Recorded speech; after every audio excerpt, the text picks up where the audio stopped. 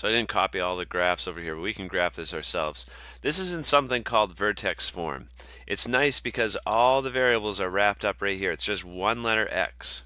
Okay, so you can quickly find the vertex by figuring out what it would take uh, to make this equal zero here because it's going to change direction around uh, where this where this part's going to be zero. So with, long and short of it is when this, in, this is in vertex form Find out what it takes to make it equal 0. Plug in negative 2.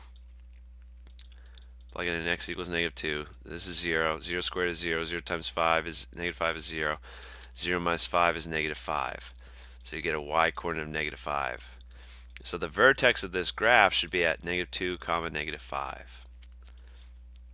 Negative 2 on the x.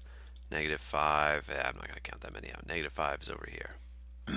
and it's going to have a leading coefficient that's negative, right? If you were to take this parentheses and expand it and do x plus 2 times x plus 2, the negative 5 would eventually distribute so that you have a negative coefficient out front. So that means it's going to be opening downward like this.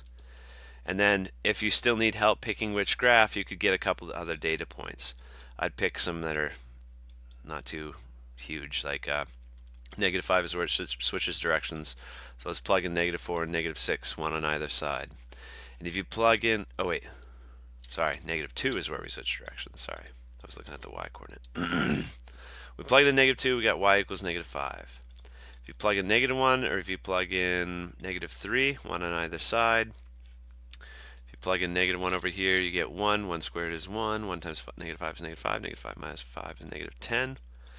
If you plug in negative 3, negative 3 plus 2 is negative 1. Negative 1 squared is 1. 1 times negative 5 is negative 5. Negative 5 get the same thing on either side. So you should see dots um, at negative 1 and at positive 1 down at negative 10 on the y-axis. Okay, and again, wait, this one's, that's basically the same thing. Okay, so that's how you want to graph them. Find that vertex first, and then use the leading coefficient to help you determine whether it's going to make a u or an n. This one's also going to be an n a quick sketch. Um, if you plug in negative 1, that would make this be 0. So we know the vertex is going to be at negative 1, comma 1.